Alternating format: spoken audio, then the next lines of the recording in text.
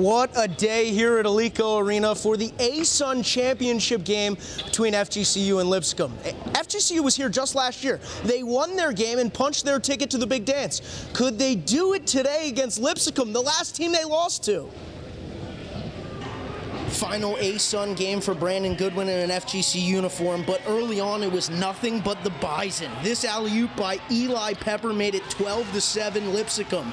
This guy, Garrison Matthews, what a game. 26 in the first half. The Bison led it by as many as 32 in the first. But then in the second half, Zach Johnson, this cut it to 27. We're starting to chip away. Then it's Johnson again to 22.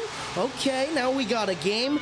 Then off the inbound rebound. Johnson, all right, it, it's now down to 19 points. Then it's Brandon Christian Terrell's turn. No, but the tip to Brandon Goodwin, and this cut it to five. The Eagles were in business, but that was as close as they would get.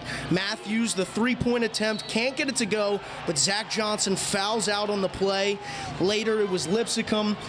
The jumper good by Michael Buckland. Everything was falling for the Bison, and there was nothing FGCU could do about it. Final score 108 to 96. FGCU's headed home. An absolute heartbreaker for the Eagles fans. Zach Johnson set a program record with 37 points, but to no avail. We'll hear from the great Eagles that finished their career here at FGCU tonight at 11.